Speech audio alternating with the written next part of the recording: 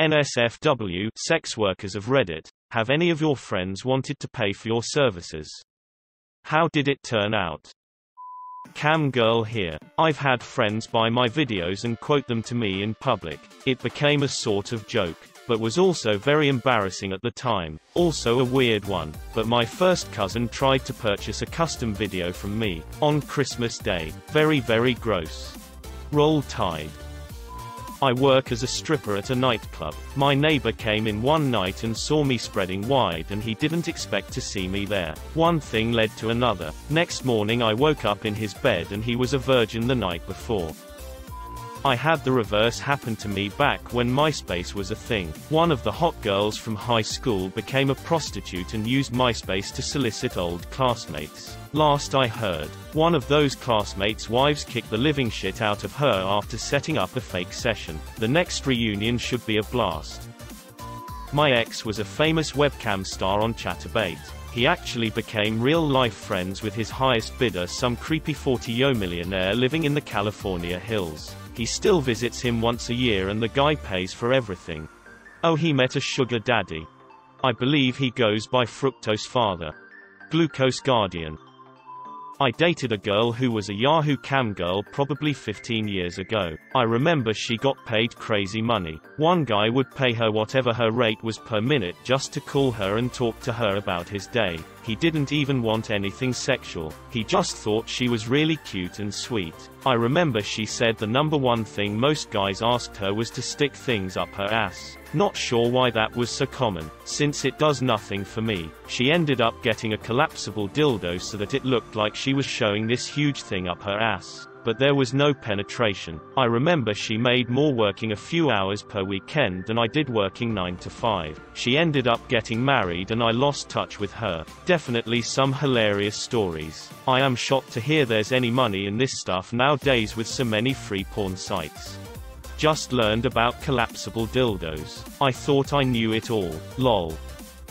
Former sex worker. I've had friends who have found my videos online and mentioned them to me. If they are my friends I don't usually care as I'm not very secretive with my past. However I have been working in restaurants for a couple months now and one of them I quit because the entire kitchen staff watched them and was trying to get me to do things for them, most of the time for free too. The one after than only one of the kitchen guys found out. He was okay with and wasn't weird. But then a customer recognized me and told my manager. Manager was a huge bitch and made some excuse to fire me when she found out. Now I have a nice office job and dress very professionally so hoping no one finds out. It makes me angry that other people care so much. Like you were watching it. What makes you any better?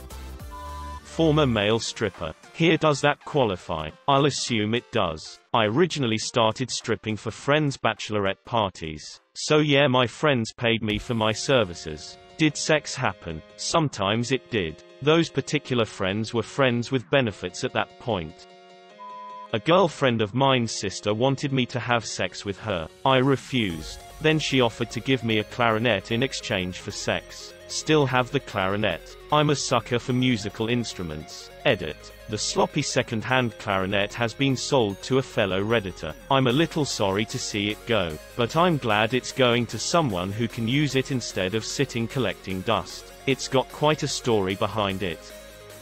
A guy the first knew through the local kink scene booked me for a threesome with his girlfriend. I was a bit apprehensive as he knew my real first name etc but it was a really fun night and we've stayed in touch since. I do have a good friend, ex-fuck buddy that I stopped seeing when he got a girlfriend but he obviously can't handle monogamy. He ranges from hinting to just outright asking me how much it would be for a blowjob. He was great in bed and I could do with the spare money but I've met his girlfriend a few times and I just can't bring myself to agree to it knowing how sweet she is.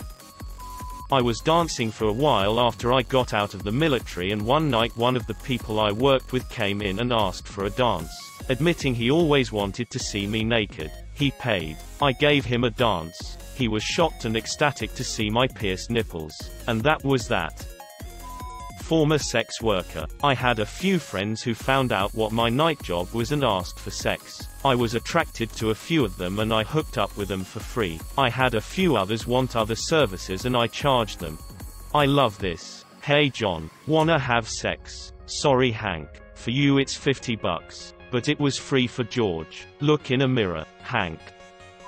They say that when you work in the trades plumbers, masons, etc., friends and family always ask you to do your job for free. As a carpenter all I can say is if you're going to ask someone to do their job for free the least you can do is buy materials, liquor and offer to lend a hand. Throwaway account of course. I used to work as a male escort, though I went in with the intention of dating wealthy women. Almost every instance was with men. I'm not a homosexual, but if someone was willing to pay me dollar dollar dollar dollar to give me a BJ, I quickly learned how to close my eyes and think of someone else doing it. Anyhow, all of my ad photos are of my body, no face. So the guys who made appointments really didn't know who I was until we met. Long story short, someone I knew made an appointment. First, I didn't realize he was someone I knew until way too late. Second, I didn't know he was gay. We both kinda played off the event. He seemed way more distraught than I was. Every time I would run into him would be crazy awkward. I am no longer is the business but it practically paid for my undergrad study. I haven't seen the guy in over 15 years. How to be a male escort. Face and personality really doesn't matter. I happened to be blessed with good genetics so was able to charge more. Work out and have a nice body. Abs, pecs, shoulders, arms, ass. Have an above average sized dick. Then, advertise yourself. Just Google search. There are plenty of methods nowadays.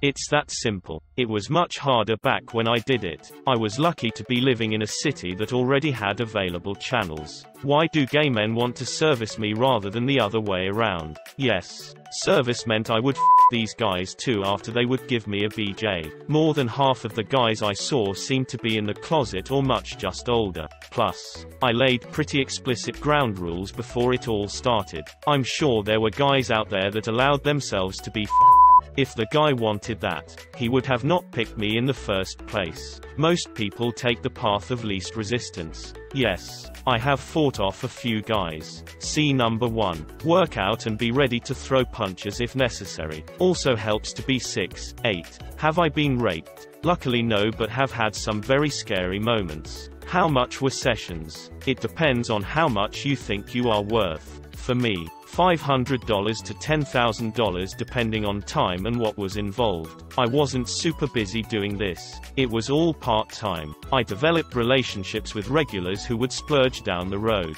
Best regulars were the ones who fell in love with me. I quit the business soon after I finished my undergrads. I then used the money I saved to also pay for my graduate studies. No student loans. Yay. I still have a big chunk of that money in my savings account for a rainy day. Not gay. Yes. I don't consider myself gay. I had a very normal sexual appetite in college for women. Having a huge secret like this made it very difficult to keep relationships with those women though. Haven't been with a man since I left the business over a decade ago. Quite terrified of running into someone who would recognize me from those days. Had to move to a different state. Grew a beard. And made new friends to feel normal. Now a working professional and married with kids. Closed my eyes. No, not literally. Most guys like that eye contact. However, I would just daydream of being somewhere else or with someone else. After a while, you get numb to the act. Actually a ton of people I've known from high school have purchased my video library etc after finding my selling posts here on Reddit. I just kind of never bring it up again. If they change the way they treat me, I cut them out. But if nothing changes, hey, can't blame them. Sometimes, you want to f a friend where it isn't a good idea to actually do it, etc. Former sex worker. Yes. They tried. They would try for some kind of friend discount which I was not about at the time. I was hooked on heroin. I had zero interest in sex so performing for subpar wages was not going to happen. OMG, you sent me clean syringes one time years ago. You're one of the many reasons I never got hep C or anything. I am three years clean now and haven't thought of you in a long time. So happy you're still around doing God's work. You're the best Tracy.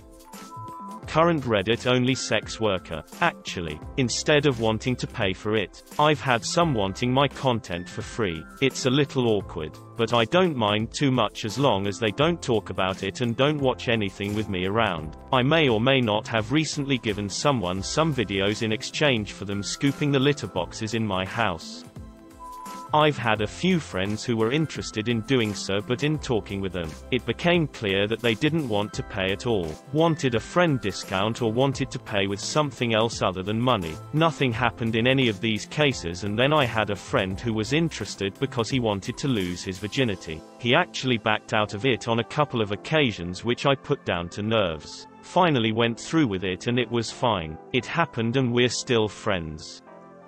As a non-sex worker, I am surprised at how little money it would take for me to have sex.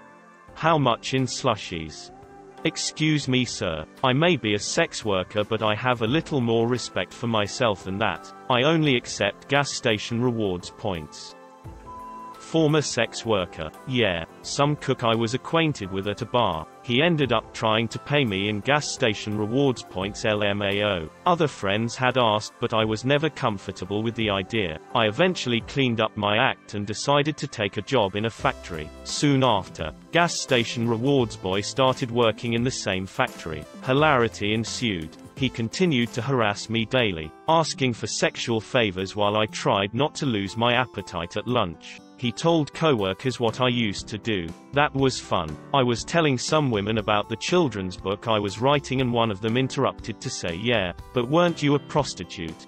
Yes. Carol, I was. I'm not writing Anne of Peen Gables or Oh, the places you'll hoe or anything. Best part is that all the women were creeped out by him, especially since he was very secretive about his name and wasn't allowed outside in the daylight. Detective Hooker was on the case. I found his full name and did a quick search. Turns out he was on the sex offender registry for creeping on an underage girl, luring her into the woods, and assaulting her. Our workplace was near a school zone, which that's why the rewards points vampire couldn't be seen outside. Good times.